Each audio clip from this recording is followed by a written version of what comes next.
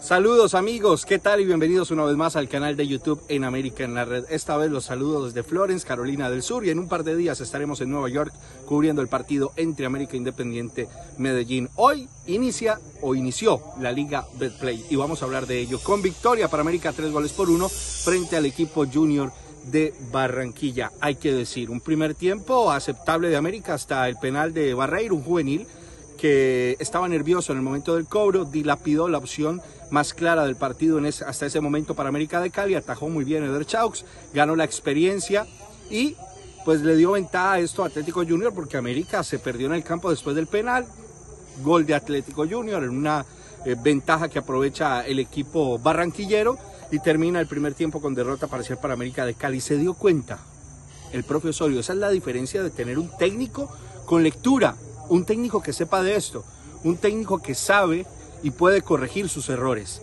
Para mí de entrada regaló un primer tiempo el profesorio, pero se dio cuenta en el entretiempo y corrigió, movió un par de piezas, sacó un par de hombres que la verdad poco o nada han aportado, entre ellos, qué pena reiterarlo, Joao Rodríguez que sigue sin demostrar absolutamente nada con la camiseta de América, pese a que ha tenido grandes oportunidades, entre ellas la que le dio hoy el profe Juan Carlos Osorio. Mueve las piezas, ingresa este muchacho Mateo Ortiz, canterano del cuadro americano de muy buenas referencias y el debut soñado.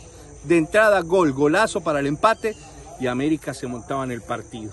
Luego la expulsión de Atlético Junior, América controlaba el juego, tenía la oportunidad de irse eh, adelante en el marcador y aprovecha en esta oportunidad eh, por parte del chileno y se va dos goles por uno en ventaja. Tengo que decir que hasta allí y bueno, y hasta el final del partido para mí la figura del partido es Quiñones. David Quiñones se jugó un partidazo hoy en el Pascual. Sigue siendo para mí el de la expectativa alta. Está grabado en nuestro programa. Dije que el jugador que más me generaba expectativa alta de este América era Quiñones, porque lo conozco, porque sé de su fútbol y sé lo que le puede entregar a América y hoy lo demostró debutando en la cancha del Pascual Guerrero. Para mí, figurón. Luego, América presión alta, ya sobre el final del partido, tranquilo, el balón le queda a Adrián Ramos y el ídolo. El goleador liquida el partido, tres goles por uno. Buen debut de América, victoria, el técnico corrigiendo, se dio cuenta de sus errores y eso es importante. A mí me gustaría, obviamente, leerlos aquí en la cajita de comentarios, que ustedes me cuenten cómo vieron eh, los cambios del propio Osorio.